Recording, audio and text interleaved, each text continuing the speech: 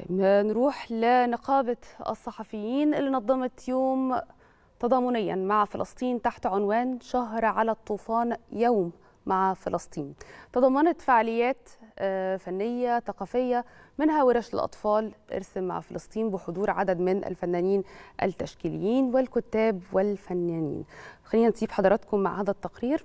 نطلع لفاصل سريع ونرجع نكمل معاكم باقي فقراتنا.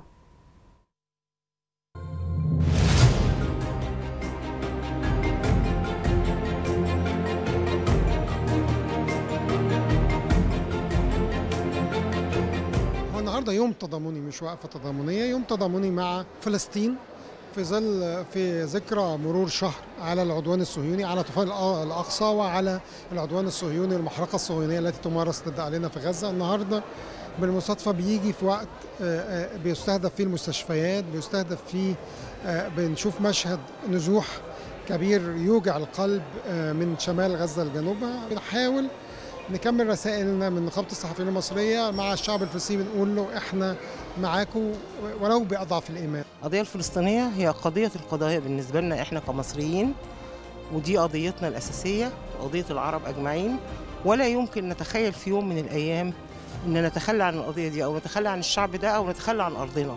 فلسطين أرضنا.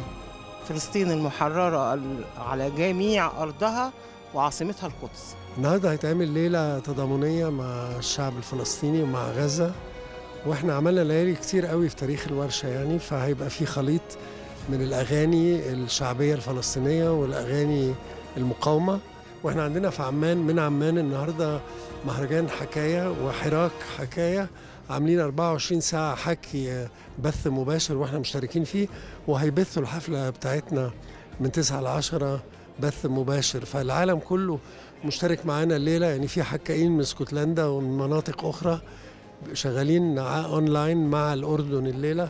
في دعم القضية الفلسطينية؟ اولا إن النقابة قايمة بدور كويس قوي بخصوص جمع التبرعات آه لتوصيل إخواتنا الفلسطينيين آه إذا كان أدوية أو ملابس.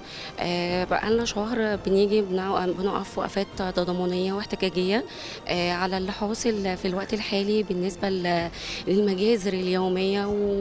وإحنا كلنا طبعا لا نملك سوى الدعاء لإخواتنا الفلسطينيين.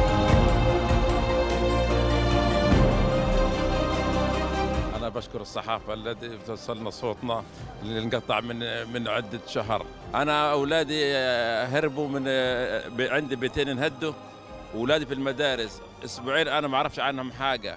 عندي 20 واحد ميت من العيلة. أنا ما أعرفش هم طيبين من أولادي ولا ميتين. أنا ما أعرفش حاجة عنهم. أنا بس أعرف أخبارهم عن التلفزيون بس. عندي زوجتي فلسطينية وثلاث أولاد مصريين. عالقين من ساعة الحرب مش عارفين ينزلوا.